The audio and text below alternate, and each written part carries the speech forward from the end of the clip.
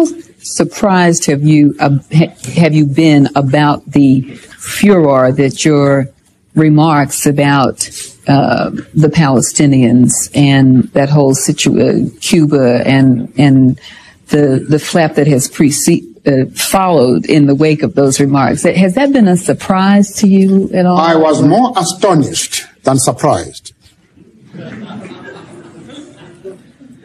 you must remember that uh, when in 1960, uh, leaders like Oliver Tambo and the young man sitting at the back there, Thabo went out of the country, one of the first steps that they took was to visit the West and to ask for assistance.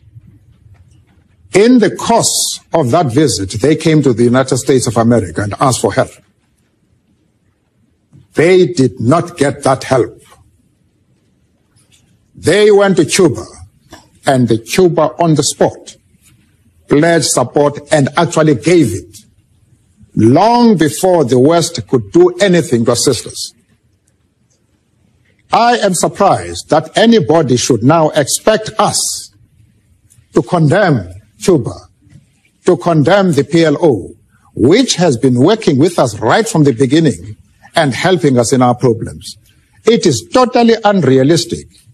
It is a typical attitude of uh, countries which really do not approach the problem of South Africa from the point of view of the liberation struggle in South Africa, which approach these problems from the point of view of their own interest. What that view wants is that uh, the African National Congress and the liberation movement in South Africa should be used for the purpose of uh, conducting vendettas, enemies of the West.